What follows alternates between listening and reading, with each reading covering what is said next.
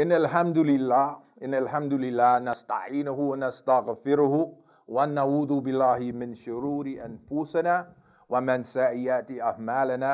من يهدي الله فلا مضل الله وما يضلل فلا هادي الله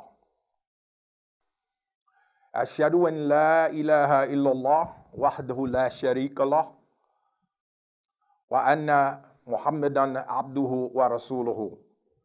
And again, all praise and thanks is due to Allah subhanahu wa ta'ala. We seek His aid and we seek His forgiveness. We seek refuge in Allah from the evil within our own selves and the consequences of our actions.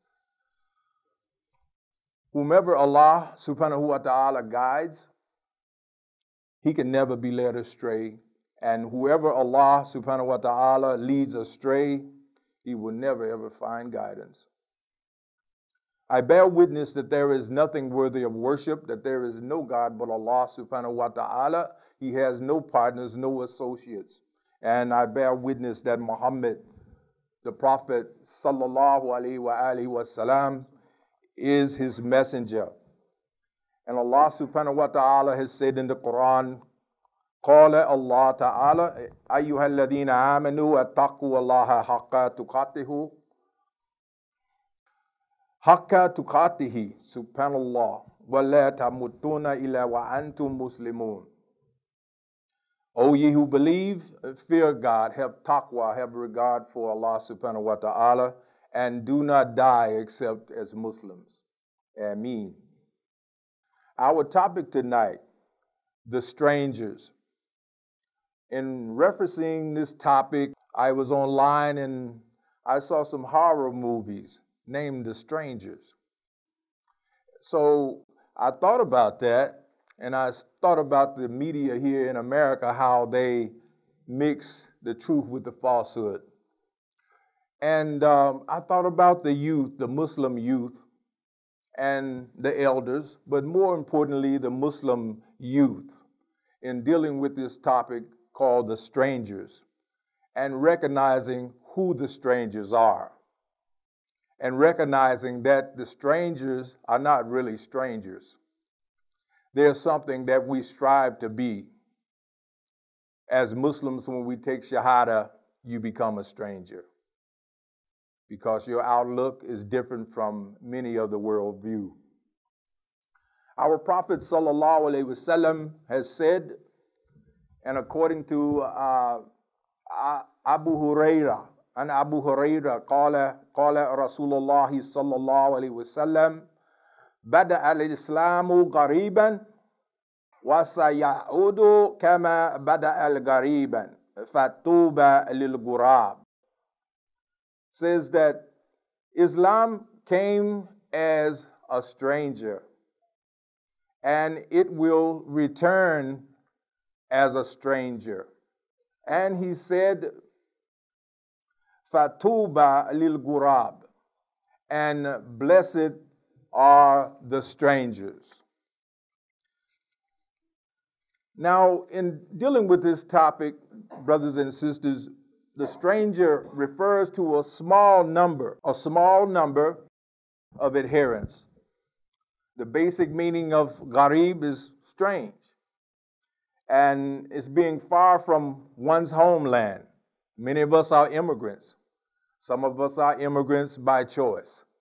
Some of us are immigrants by captivity, if you get my drift. Tuba, so Tuba, glad tidings, has been interpreted as meaning paradise or a great tree in paradise. And this shows that supporting Islam is following its commands and may require leaving one's homeland and being patient in bearing the difficulties of being a stranger. As Muslims, we study in the Quran, and Allah subhanahu wa ta'ala shows us in the Quran and gives us an evolutionary story and guidance in the Quran. And we talked earlier about, before the presentation, about Ibrahim alayhi salam as being classified as one of the first strangers. Lot many, all of the prophets that preach monotheistic and tawheed, the oneness of God, they are considered strangers. And uh, Ibrahim alayhi salam being the father of rational, deductive reasoning and logic, he was known for that. And Allah subhanahu wa ta'ala promised him in his obedience that his offspring would be prophets. Fast forward, we understand how Ibrahim dealt with the idols in the in the Kaaba and how they came against him. And we fast forward some 2,000 years along the line of Ibrahim's son Ismail, radiallahu ta'ala anhu. And we come to Mecca. Mecca. Before the advent of our Prophet wasallam, once Ibrahim had gotten the idols out, guess what? Years later, they reappeared. Business as usual. 360 idols in the Kaaba. And Mecca was thriving with usury, thriving with shirk, polytheism, etc., oppression, you name it. It was a filthy society at that time, troubling our Prophet wasallam to do something about it. And uh, we know that he had trouble dealing with this society and wanted to find a cure. And us, we are familiar with the, surah, the seerah of Muhammad, that the angel Jabril visited him in meditation in the cave and first revealed to him the first Quranic ayat, Ikra, Bismi Rabbika alladhi khalaq. Read in the name of your Lord who created you. And uh, the rest of the, the chapter you're familiar with. But we also know that he went home to his wife Khadijah and had real issues uh, with what he is chosen, he was chosen for. Had real issues. And his wife, we know, consoled him. And then he went back to the cave and didn't receive any, any communication with Jabril for a number of uh, days And he began to wonder what was going on, scared all the time. Then the angel Jabril came, and the next revelation came. أعوذ بالله من الشيطان الرجيم يا أيها أيها المدثر Oh, you wrapped up. Qum fa'andur. Stand and warn. Giving him the order to go out and start to teach the people and cure the society, if you will, of its ills. يا أيها المدثر قم فانظر وربك فكبير and glorify your Lord and magnify him. And believe me, that's when the trouble started. and he went to the Kaaba and went to give the good news that he had found, and he found his uncle Abu Lahab, who tried to stop him from speaking. Some people talked about the message that the Prophet wasallam they said that he leaned against the Kaaba and he would tell the caravanners that the, the worshipers and everybody about this new message from Allah subhanahu wa ta'ala. And some would listen and some would not. And some would tell you, don't listen to him because this new language, this new, this new Arabic, if you will, not a new language, this new Arabic, you, if you listen to him, he will captivate you and turn you against your gods. So in the days that followed, Muhammad wasallam made numerous attempts to preach to the Meccans, and Abu Lahab, the father of flames, which I'm sure he's going to get. And Abu Jahl, his other uncle, they did whatever they could do to sabotage this message. And Muhammad, may God's peace and blessings be upon him, sallallahu alaihi wasallam, realized that this was this was not going to be an easy issue. Not at all. Because of the resistance that he received. And God again warned him and told him that he had confidence in him. And he said, فَإِنَّ مَعَ الْأُسْرِ يُسْرًا إِنَّ مَعَ الْأُسْرِ يُسْرًا That very prophet, verily, every, after every difficulty comes ease. Comes ease. And so this comforted the prophet and reinforced what was to come. So our prophet was teaching what we call a strange message at that time. A strange message. He brought it to the Arabs. It was unique. No one had ever heard any type of a recitation like that. Even though we had great poets in the Arab society, they didn't have anything that could touch this. As the rappers would say, you can't touch this. Muhammad, praise and peace be upon him, told the Arabs not to worship the multitudes of inanimate objects, that they can't help you.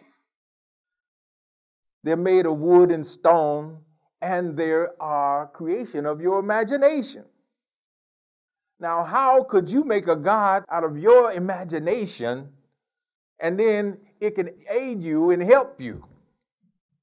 It doesn't make sense. And it defied logic. And Prophet he broke through that and gave them logic to be able to look at their the error of their ways. But instead, he told them they ought to give the obedience to Allah subhanahu wa ta'ala. Ati Allah wa Rasul. Or obey Allah and His Prophet, the one Lord of the whole universe. So Muhammad also wished to reorganize this society that he had trouble in.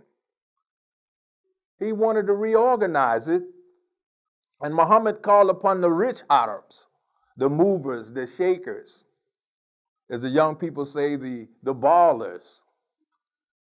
Muhammad called upon the rich Arabs in this great religion to share the wealth. To share the wealth. Share it with the poor, share it with the underprivileged, and uh, give distribution of wealth across the community. And we're still dealing with that today. So many of the rich Arabs, they were money lenders, riba takers, interest, and they were loan sharks. And they had exorbitant rates of interest, charging the people that they would never get out of debt. They were indentured slaves, indentured slaves. So the poor could never repay their debts, so they were always indentured to the money loan sharks. They were not sharing any wealth. And by suggesting to them, as Muhammad did, to share the wealth, that was like, uh, as they say, tampering with a hornet's nest. That really got them excited. But the Arabs, all of these new, unfamiliar ideas, in fact, they were revolutionary. And by preaching such ideas, Muhammad had infuriated the status quo or the old heads or the old establishment. He had offended them. And most among him was the uh, Umayyad clan of the Quraysh. And they were members, they were leaders of this particular society. Even though Muhammad, he was known as El Amin. He was known as El Amin, so they trusted him. And he would tell them, if there's an army behind that mountain getting ready to attack you, would you believe me? And they says, yes, El Amin, we believe you. So he had credibility, excellent credibility. And um, so they would start to believe what he, what he was preaching.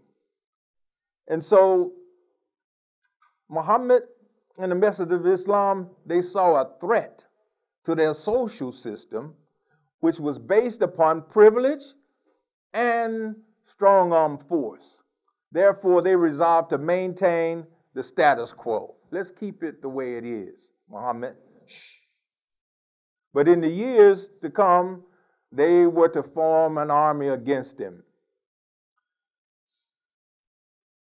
And in the Quran, it says that um, they came out with opposition to Muhammad. And uh, they plotted against him. And we know this history. And in the Quran, it says, وَإِذْ يَمْكُرُوا بِكَ الَّذِينَ كَافَرُوا لِيُثْبِتُوكَ أو يقتلوك أو يخرجوك ويمكرون ويمكر الله وَاللَّهُ خَيْرُ الْمَاكِرِينَ And Allah speaking to Muhammad when they were getting ready to attack him and plot and planned on him. And he says, Oh, remember, Muhammad, then when those who disbelieved plotted against you to restrain you or kill you or evict you from Mecca, but they plan, but Allah plans. And Allah is the best of planners. But there were a few individuals who found out strong appeal in the new ideas of, of Muhammad, and it appealed to them. It was irresistible to them because they were the downtrodden, they were the poor, they were the have nots of the society. And what Muhammad taught boosted their self esteem, put them on equal par pretty much how you have it in 2017 that the haves and the have nots. This was a religion that balanced things out. And so this was a threat. If they made the slave equal to them, that was unthinkable. To make the slave equal to them, to give to clothe the slave in the same money that same clothes that we have? That's unthinkable. To have, for the Arabs, they were, would not denounce idol, uh, idolatry, excuse me, but this was for economic reasons only because they were the benefactors of large sums of money by pushing this idea. And Muhammad, he peeped their game. Allah had showed him how to destroy this this uh, status quo. But the one that the self-selected elite of the Quraysh, they found most outrageous was the notion fostered by Muhammad that the members of the depressed, the despised, the exploited classes, they were the ones that were going to be equal. And they couldn't take that. They couldn't take that at all. And so as things went on, it really got bad. Racial pride is discounted in Islam. Is that not right? According to the Quran, all men have descended from Adam. And Adam was a handful of dust. And Iblis, the shaitan, became the accursed one precisely because he argued for the superiority of race of what he presumed to be his high origins as against what he considered to be the lowly origins of us, of man. This was the first racist. And so this was where the racist idea started. And Allah addresses it in the Quran. He says, "Kala ana kairu minhu khalaqtani min nar. Say, I am better than him because I have been created from fire. Wa khalaqnahu min teen. And he is created from turab, from dirt, from dust. This was the first racist. This was the first racist ideology pushed in the, in the creation. So, in the sight of the Quran, the most exalted person, brothers and sisters, is the mutaki, the one who has taqwa, as we said in the opening ayat, the one who has the most regard for his Lord. Taqwa. It was then stated that they resolved not only to oppose Muhammad, wasallam, but also to destroy the hearsay called Islam altogether. Let's eradicate it. Before it could strike its roots and before it could become viable, before it became stabilized in the community. So they had to come up with a plan. I hope I don't go too long here. Mecca was in a state of war. The Quraysh opened a campaign against Islam by harassing and persecuting the Muslims. Those Muslims who were slaves, who saw this, this big benefit in accepting Islam of equality of race, equality of wealth, equality in the social strata, they came against them. They started to persecute them, as they do now. This will never work. Now, let us fast forward. The strangers, some victims of persecution. Many were uprooted and killed by the Meccans. Now, we're talking about the strangers, that those who accepted Islam, they were considered strangers, the Gurab similar to what we are in this society here. Bilal, the Ethiopian, a classic textbook example of someone being persecuted. And we know the story of Bilal, and he was a slave of Umayyah bin Khalaf. And we know that he was drugged, they dragged him in the sand, tied him, put rocks on his chest to make him recant that there is no God but Allah. No, no God but Allah. And he took all of that torture and he never gave up his faith, even though he may could have, but he held out until one day Abu Bakr radiallahu ta'ala an, came and saw him and purchased his freedom. The first martyr, or the first shahida, or the first martyr to Islam, was a woman and a slave, a former slave, Sumaya,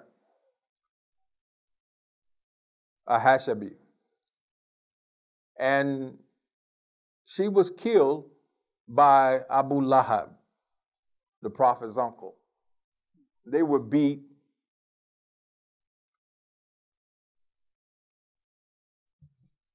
And they were beat, and one of the main torturers was Umar ibn Khattab. One of the main torturers.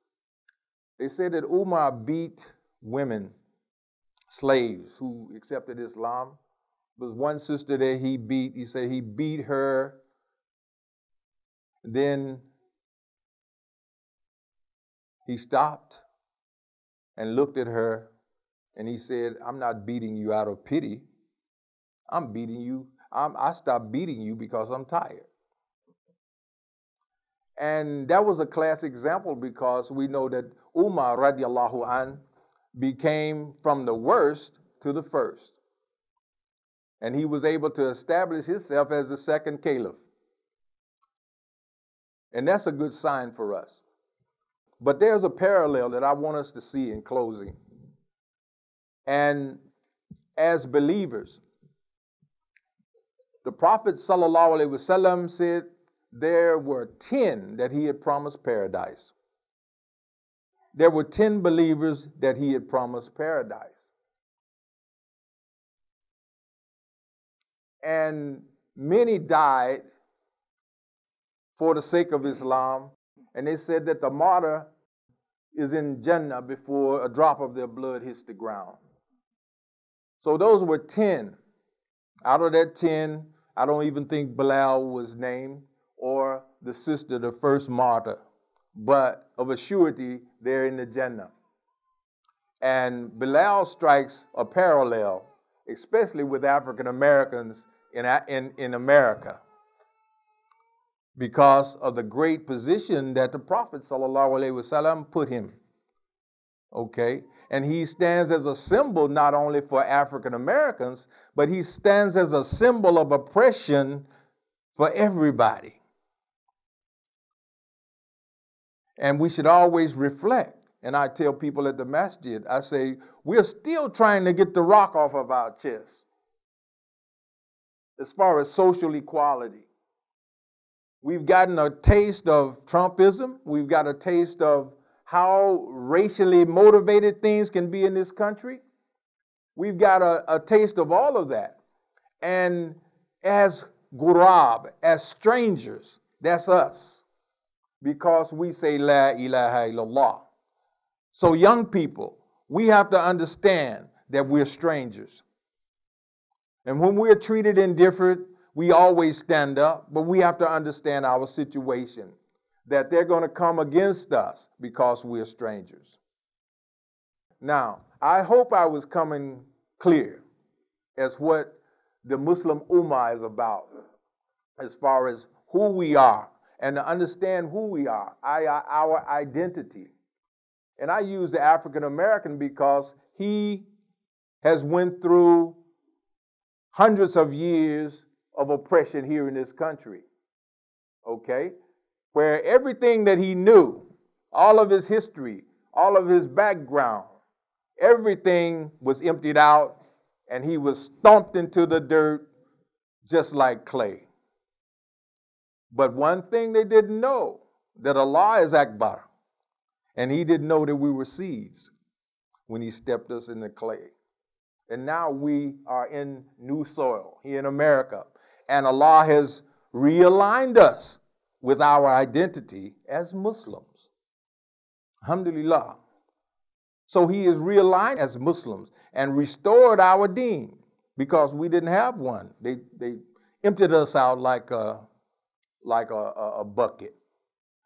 And that's a miracle, if you, if you would agree with me, that a people that have been pushed into the dirt.